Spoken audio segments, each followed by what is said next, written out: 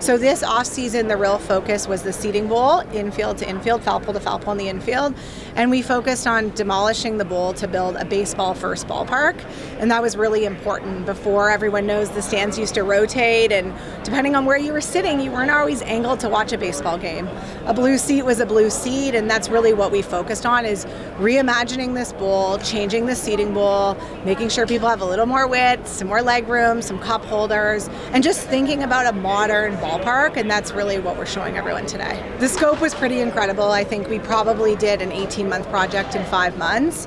A big part of that was in order for us to build facilities below and change the angles, bring the fans closer to the field, we really had to demolish the bowl. And what that meant was taking this bowl down to nothing, digging and then rebuilding it so that we could create all of these angles so that we could provide all these amenities and you know how that was accomplished is pretty incredible in one off season. We're excited for fans to experience it. I think it was really important and intentional that this looked like a ballpark and that you couldn't tell where phase one ended and where phase two started.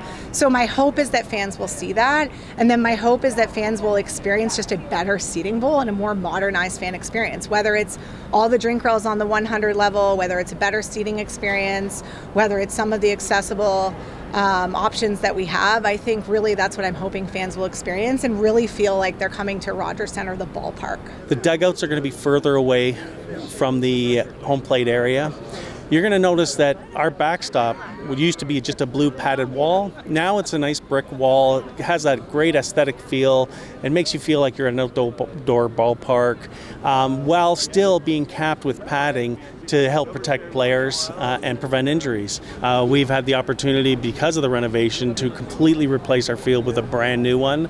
And we were able to go with an AstroTurf root zone field that uh, we had good success with previously. So uh, we're very happy about that and looking forward to, to the, getting the team on the field.